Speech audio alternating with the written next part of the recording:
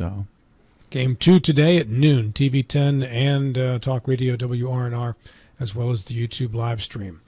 Now, when you need a counselor, an attorney, you go for a power broker like Lisa Henry. You bring her in, and she knows exactly what buttons to push, who the people are that you need to get involved. She takes care of things. They call her the fixer. Lisa Henry, how are you? I am well. I need to always do. Um, to clarify, though, not a practicing attorney anymore. No, you but had your I, time. But uh, hey, I will fix things. You had your Yeah. time. Yep. you were- you were in your day. You were suits. yep. Oh yeah. th- Corporate we were attorney. not business casual. No. Yeah, that came a little later. Did, Yeah. did but you watch the TV show Suits at all? I did not. Well, you can catch up with it on Netflix. Okay, I will do that. I, you get a I, I chance. missed the world when it was a little dressier. I mean, I used to wear suits all the time Yeah. and stuff. You were a Don Draper kind of guy. It was a. It was yeah. It was. A, it was a better world, I think. yeah. Everybody's got a little too relaxed. As we all sit around in pullovers. Yeah, Paul, yeah, yeah, exactly. yeah, polo shirts. Yeah, I just feel sorry for the dry cleaners who, you know, have faded fast. that's so funny. When I when I uh, a couple of years ago, I brought a shirt and a suit back to my dry cleaner, and she almost did a cartwheel. Like, "Oh, you're, are you back to work?" like "Ah, I never actually stopped, but everything's kind of more casual now. Uh, let's talk about the backpack program and a golf tournament that you've got coming up. This is a nice fundraiser for you folks. Uh, yes, absolutely. So, um, Backpack Program, in case you don't know, we are an all volunteer organization that provides bags of food. We deliver them to the schools every week so kids who are in need have food over the weekends because they'll get breakfast and lunches at the school. Um, and this helps families tide them over. Um, so, from some families, it might be literally the only food that the kids have for the weekend. Other families, um, it's a supplement that that helps tide them over. And we're up to uh, 780 children each week. And we just delivered end of the year food bags to the schools yesterday. We did two large bags to kick off summer. Kids end school on Friday, so I'm sure they're looking forward to that. Um, and then we'll go into our summer program. So right now we are happy that the uh, Woods Men's and Women's um, associations are hosting a golf tournament to benefit the backpack program. Um, this will help kick off our summer program where we continue to provide food for families. Um, and so our golf tournament is on Monday, June 10th.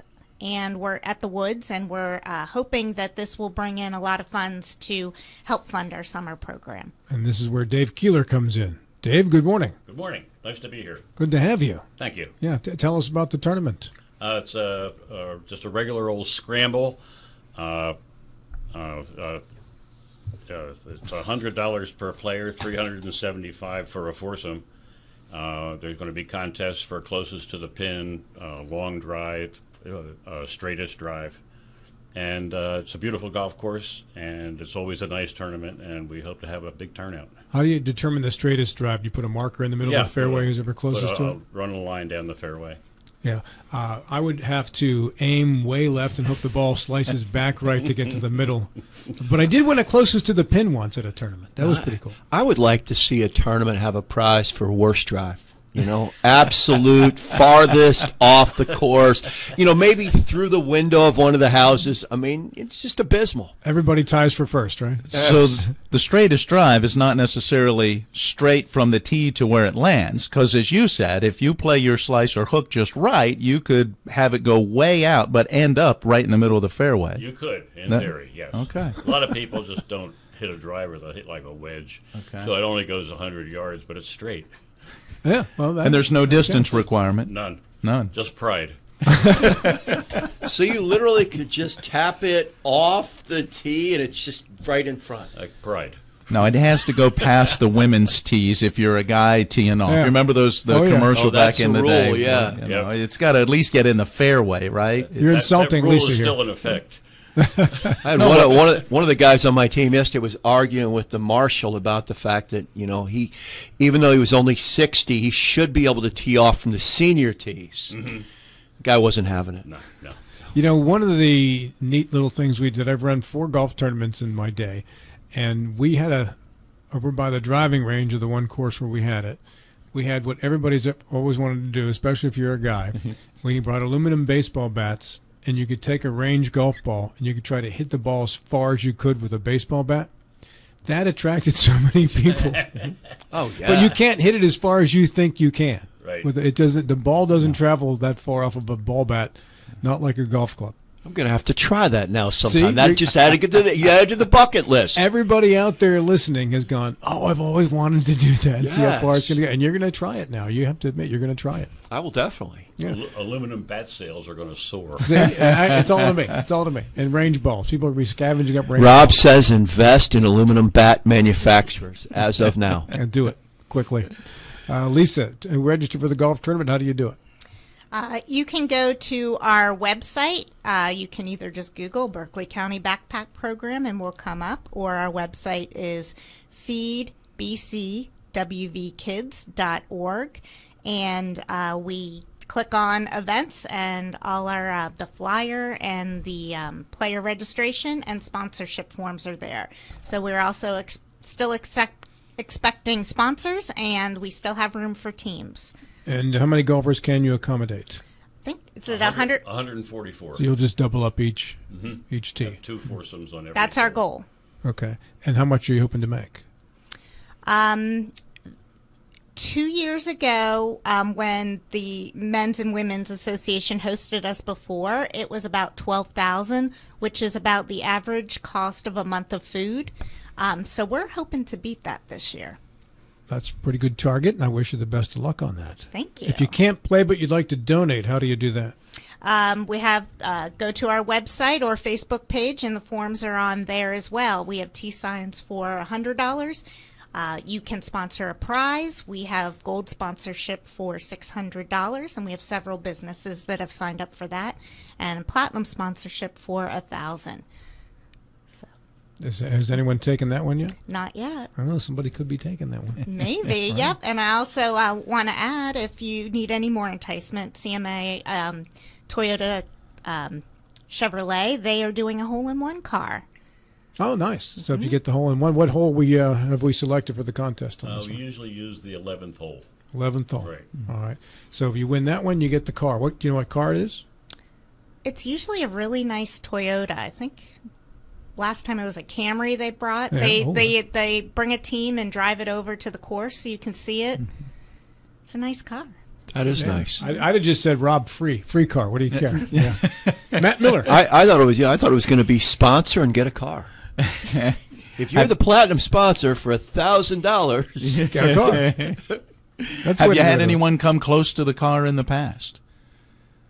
Not for our tournament. with their tee shot? Yes. Getting in the hole? No. You're right. Yeah. I've Yeah. heard there have been hole in ones at the woods, but Right. not. Oh, yeah. I don't think No. during a tournament I've for never a car. seen one. has anybody ever hit the actual car with the drive? I hope not because that is that the registration table where the pavilion is in the front. Oh, like okay. that would be really bad. No, Wow. Well, Bodwell says that he can hit the. Uh, if anybody can, That- okay. That's the candidate for worst shot that he Right was there. looking for. You know, That your would- prize is you get to pay to have the dent taken Yeah. out of the car. I had a friend in college who won a. a he, if you sunk a half court shot, you won a car, and he sunk a half court shot, and he ran all the way down the court and dove on the hood of the car and dented it.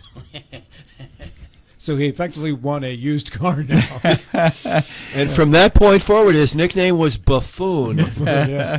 Lisa, you mentioned that, that if the tournament brings in about twelve thousand, that's the cost of a month of food, and and you mentioned this will go towards the summertime program, which is going to be at least two full months, correct? If not a little bit more before students get back into school. How do you help to support those remaining months? Uh, so we are um, funded by business, individual, church donations. We also um, I write grants, um, and we also got a grant from Procter and Gamble for ten thousand dollars that will help with the summer program as well. We also receive grant funding from the United Way, and then also we have to fill in what we can with fundraisers such as the golf tournament. Is it better for folks to donate financially as opposed to, say, bringing in food items because it's easier for you to make the selections and get the food yourself? So we do take uh, donations of non-perishable food, and we have several Dropbox locations across Berkeley County. If you look on our website, BCT Bank um, is one of the more popular ones um, in Martinsburg and Hedgesville, and you can just bring in your donations during their business hours. However, um, with monetary donations, we're able to purchase in bulk and have the money go further. Um, it does help with the actual food donations, though, because it's a little more variety. Um, when you buy in bulk, you're limited as to what you can buy, but we're able to have some variety when people donate, which also helps when we do our allergy food bags. So, students who have food allergies, the very serious allergies are done by Berkeley County Schools Nutrition, um, their dietitian. And um, if there is a potential for any anaphylactic um, reaction from the food. Berkeley County Schools does take care of those, but there's a lot of food intolerances such as red dye, um, lactose, milk, um, those types of things. So the food donations help with a variety that um, you know we can put together those bags to make sure all the kids are receiving food that they can eat. That's very cool. I wouldn't. I would never have thought of that. Let me ask you this: You said 780 kids. Is that where was that I don't know how many years you've been involved with the program. Where was where is that compared to what it was two years ago? Say. Um, it has gone up significantly this year. I did a percentage. I think it's like about fifteen percent increase this year. Um, during COVID, with the kids in and out of school, our numbers weren't consistent. Like one week we'd have 800, the next week we'd have 500. It was, um, it was hard to tell. But um, last year at this time, we were about 700 kids. So now about 780. So it, it has been an increase. So it could be increase in need plus increase of people moving into this area. Well, it's just it's such a great program, and I'm I as I said in the break, I'm I'm going to donate Bodwell Insurance. We're we're going to make a donation. Thank you. Yeah, without a doubt. What I mean, it's it's kids deserve to eat. I mean, it's the the basic need of society is you take care of the the children, the ill, the infirm. I mean, I, I think it's a wonderful program. I know some people who who have volunteered with it. So if anybody out there is listening, um, please please donate. This is local. These are these are people who are feeding kids. It's amazing. And the money goes directly to the kids. Uh, we have no employees. Um, no one gets reimbursed for their gas mileage. It's all the volunteers take it upon themselves. And so your money is going directly to kids in Berkeley County. Where are you doing the drop offs for food donations and uh, the packing these days? So um, we are located at um, 300 Foxcroft Avenue across from the Holiday Inn. However, since we are all volunteer, we don't have set office hours. Um, so if you are interested in volunteering, just um, you can call or email us to inquire about that. And we do have drop boxes at, um, across the county, and you can check those out online.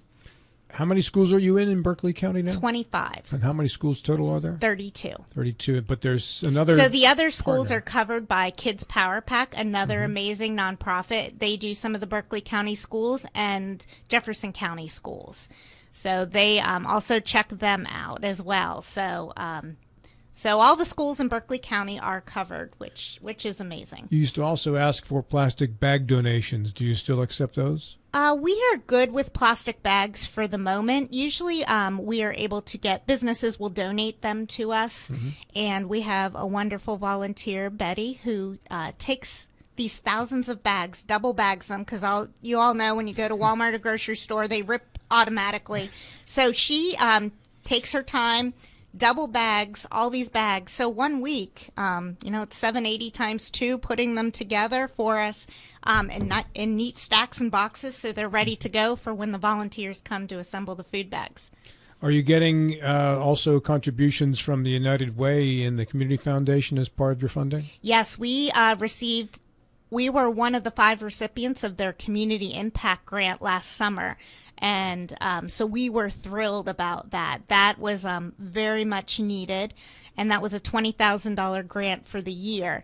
And they have just emailed us that they're going to extend it. Um, we don't know the amount yet, but. Um, you talking the United Way? Yes. Okay. So that's. Um, we're very. Yep, we've been uh, part uh, agency of the United Way uh, for about 14 years now. And food inflation has been insane oh the last 12 months. How mm-hmm. has it mm-hmm. affected you? Uh, it's our our costs have gone through the roof. Yes, um, as you know, when you go to the grocery store, I mean, it's really just unbelievable. And families, um, you know, who have young kids, and it's also we have a lot of grandparents taking care of grandkids now, and they're on a fixed income.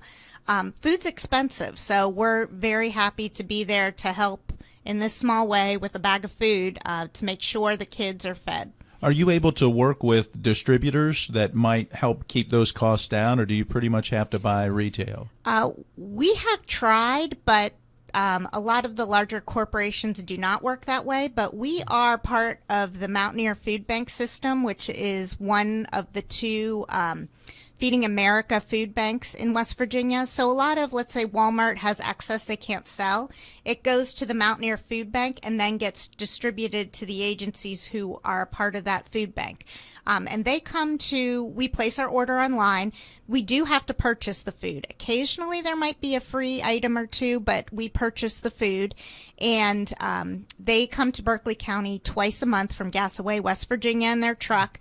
And think there's about 15 to 20 in, uh, agencies in Berkeley County that meet the truck, um, like Boys and Girls Club, um, Loaves and Fishes, all of them we meet and get the food. Lisa, thanks for coming in. Dave, good to see you again.